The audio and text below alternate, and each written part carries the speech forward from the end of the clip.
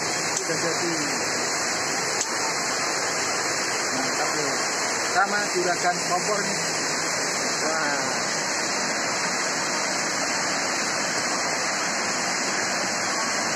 Selesai.